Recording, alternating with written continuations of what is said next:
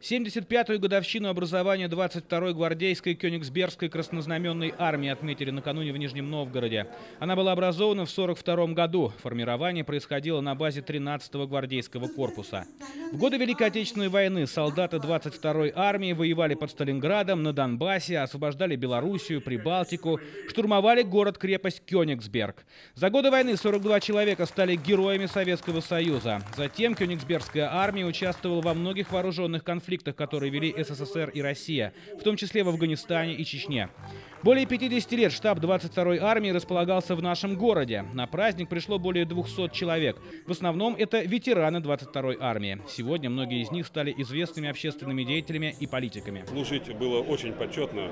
Армия всегда была на хорошем счету в вооруженных силах. Ну и посмотрите, по какому настроению да, ветераны собираются.